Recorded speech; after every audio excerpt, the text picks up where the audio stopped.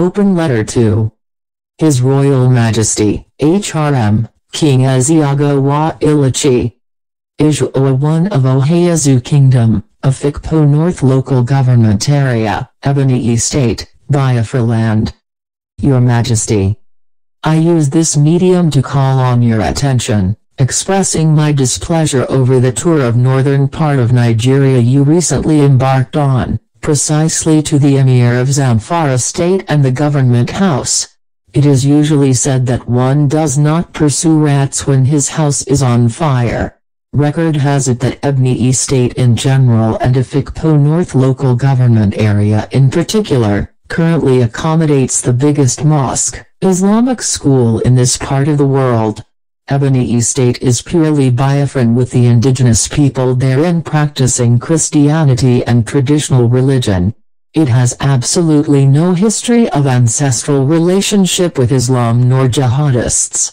You are fully aware your majesty, of the prevalent, seeming uninterrupted, unwarranted development these colonization policy of the Islamists presently have on our farmlands and communities. There has been series of financial inducement on our people to give off their inheritance. This same atrocious conquest and domination policies was perpetrated by the Fulanis and their accomplices in the genocidal enterprise of the 1960s that claimed the lives of over 3.5 million people of Biafra. The ongoing romance between you and these vampires from the north is both sacrilegious and an act of betrayal. Your pretenses are already laid bare and disappointedly unbecoming of a traditional ruler of your status. On social media, one Sunning Kama proudly spoke on your behalf, stating that your visit to the Emir of Zamfara and the Federal University of Zamfara will soon yield results to the youths of Ebonyi State. It therefore becomes imperative for one to categorically say that your acceptance of the Zamfara-based university's chancellorship position is essentially a betrayal, which is codedly a sinister agenda against Ebonyi people. It is certain that the House of Fulanis cannot ordinarily bestow such a prestigious post on a non-Muslim without such an individual pledging allegiance to the Fulani oligarchy. Biafrans and especially Ebonyi people cannot be fooled forever. The leader of the indigenous people of Biafra, IPOB, Mazi Nnamdi has really opened our eyes as a people to the realities of our time and nothing whatsoever can hoodwink even the unborn Biafran generation. Let it be clearly stated here that your moves are targeted evil brought against the overwhelming majority of the people. It is a fact that you as a traditional custodian in Biafra land and particularly in Ebonyi State has not for once, shown concern for the well-being of your people nor even interacted with them to sample their opinion about their predicaments, plights. But you have rather, driven by crass egocentric interests, decided to handpick few supporting slaves in your domain and embarked on an evil tourism to the oppressors. What a dictatorship! All sane individuals seriously frown at this self-serving and enslavement enterprise and hereby urge your majesty to desist forthwith from further dealings with our enemies.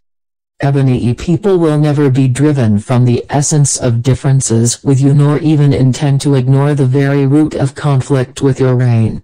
The rumors being spread during your time as a result of this disgusting anomaly may not be quickly remembered but it is quite on record. You have brazenly exposed this part of Biafra land to the desecration of its dignity, honor, plundered its resources and robbed it of its wealth and sacredness. Your reign is characterized by bribes and all sheds of slavishness, leading to widespread undue favoritism, moral and administrative decadence. You are hereby implored to carefully digest the contents of this piece within a reasonable time frame. Retrace your footsteps and duly accord recognition to the requirements of the indigenous owners of the land. The glaring truth herein expressed cannot be dismissed with a wave of hand. The company of stooges and saboteurs that you are surrounded with, cannot save your majesty after all. The Fulanized influential lots on our land do shamelessly carry out their trade by deceiving our people through mind games. But it should be noted that the transference of the people's wrath and displeasure consequent upon your misrule can no longer be prevented. You need to be reminded your majesty that the days of reckoning are already here with us and posterity must surely judge everyone. At no point should our people get embarrassed, harassed nor humiliated anymore because of their rights of expression. It should be sounded loud and clear that even your own family your majesty, will be held totally accountable if the mentioned evil enterprise tagged to you, persist. A word is enough for the wise. Thank you. Christopher wrote to Aziz Ali. For Family Writers Press International